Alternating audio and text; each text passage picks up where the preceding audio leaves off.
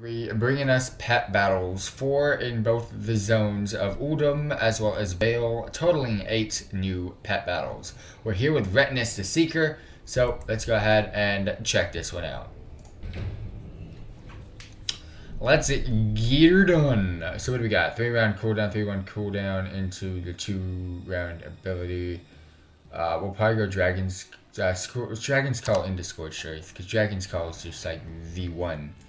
Uh, so Nefarian, do you go 475 It's a Scorched Earth. How much we get to do? How much damage was that? 304. Now a two round ability. Have a triple dragon team just for Nefarian's freaking Dragon's Call right here. I got stunned on that. Oh my. Is it 100%?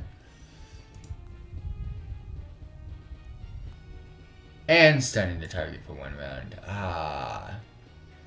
Makes sense then. 100% chance to stun. That's not the way.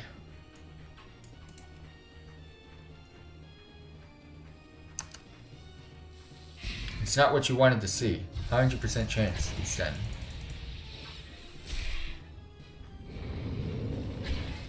Alright, call upon your crashy thing.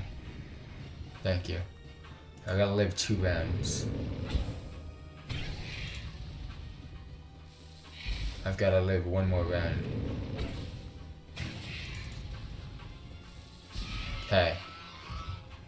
Is that just okay? So it just falls through. Good. Uh, deep breath, scorched earth. I can't deep breath because it's a two round ability.